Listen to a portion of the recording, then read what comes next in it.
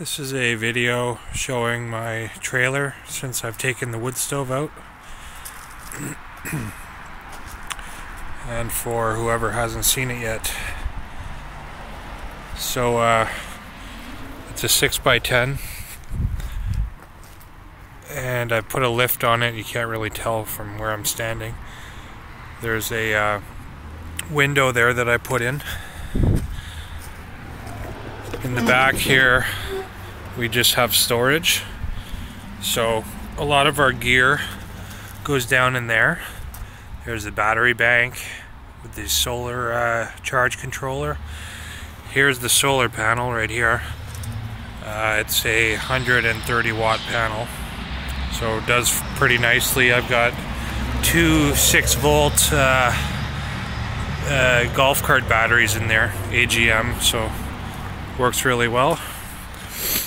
Uh, and so when I take the solar panel out, I just plug it into here.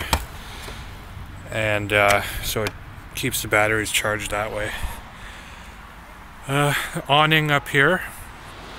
Uh, it's actually a house awning that I just uh, bolted onto the side of the trailer. That's been on there for a few years and it's holding up really well.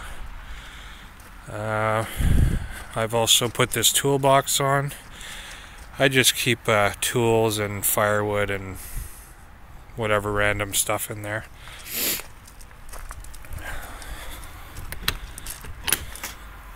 So this is inside the trailer. That's where the wood stove used to be. Uh, I've since taken it out and installed a propane heater. Nice and warm in here. Um, I did this because the wood stove was uh, just not getting enough air in this small space and not burning well and it was getting pretty smoky in here. Um, it wasn't drawing very well because I couldn't go too long with the flue. Uh, but this is this is working great.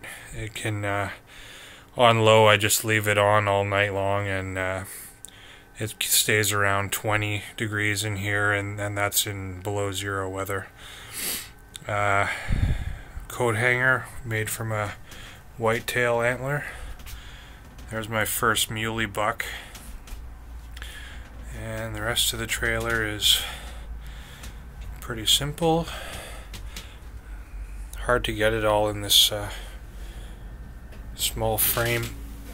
There's a table that just folds up, so you've got two benches that both open, and so that's where you sit and eat.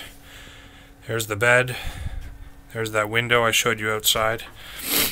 Um, there's a uh, little battery uh, right there, little battery gauge. TV gun rack. And I put this window in as well. And uh, so that's the inside. I think that's about it.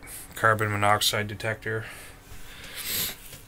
uh, I've got uh, LED everything in here so everything's really efficient oh this is an oven here a propane oven and cooktop as well all runs in propane. The propane's stored down there.